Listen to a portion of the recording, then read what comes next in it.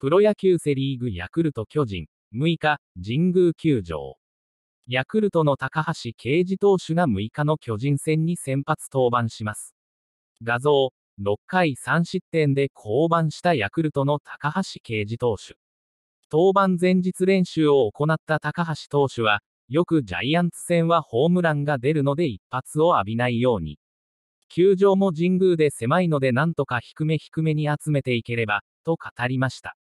今季9試合で2勝4敗、防御率3.91の成績。前回登板の広島戦では守備のミスも絡み6回3失点、自責ゼロで黒星を喫しました。今季は登板前日ウェイトトレーニングを多めに取り入れ特に上半身に少し張り感を残すことで投球時に体が開かないようにするなどの意識をしているといいます。またこの日東京は猛暑日。気温35度の中練習を行った高橋投手は暑さを乗り越える疲労回復方法について聞かれると、やっぱり一番は睡眠ですかね。